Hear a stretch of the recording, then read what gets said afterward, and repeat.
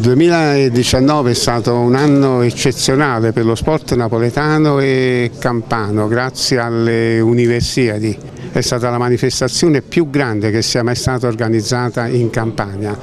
e tante vicende politiche e sportive hanno fatto ricadere solo sul mondo sportivo e politico campano la loro organizzazione.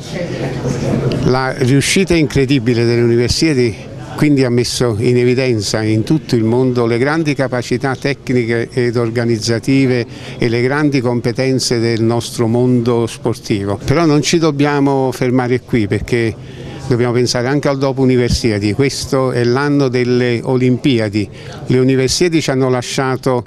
i palazzetti ristrutturati, riammodernati, ma occorre che la politica li metta completamente a disposizione del mondo sportivo per preparare adeguatamente i nostri campioni che andranno alle Olimpiadi. Ricorderemo tante vittorie della nostra palestra egoisticamente con due ragazzi che sono entrati nei carabinieri, giovani, sai Scampia molte volte il carabiniere è visto come un nemico, oggi probabilmente questo non più perché Pino Maddaloni è un poliziotto, i due ragazzi sono diventati carabinieri, Esposito Martina e Brudetti Luigi, una ragazza è entrata entrata in finanza e questo per noi è una grande vittoria, non solo la medaglia ma anche dare dei modelli giusti ai ragazzi dei quartieri perché il poliziotto spesso viene visto come dicevo prima come un nemico. Ci auguriamo che lo sport venga messo nelle scuole come di base, come una volta si facevano i giochi della gioventù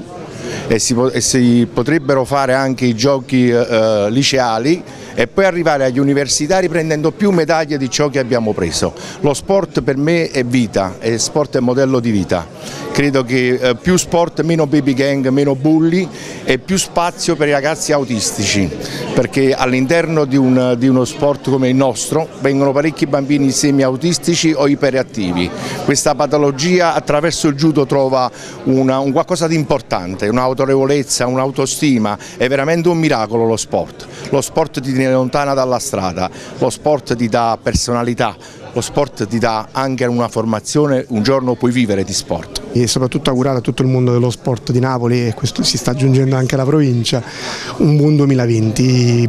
fatto insomma, su, finalmente su fatti più concreti, impianti finalmente disponibili, quindi anche aprire una riflessione e magari un tavolo che possa portarci come dire, progressivamente a utilizzare sempre di più e meglio le nostre strutture sportive. Il bilancio è stato positivo, insomma, è chiaro le università hanno fatto sì che Napoli svoltasse sul tema dello sport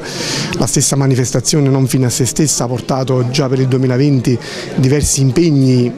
a carattere nazionale e internazionale, questo ci fa capire quanto è stato importante per la città eh, il mettere a posto gli impianti, cosa che difficilmente avremmo fatto noi con le nostre scarse risorse, quindi un'opportunità della città che sta diventando finalmente un fatto concreto e che porterà un 2020 pieno di eh, eventi sportivi, pieno di eventi internazionali, quindi proprio sulla scia dell'Università del 2019. Siamo contenti per questo e siamo contenti anche di poter continuare a camminare col mondo dello sport che corre e che noi insomma vogliamo non dico inseguire ma almeno camminare al fianco.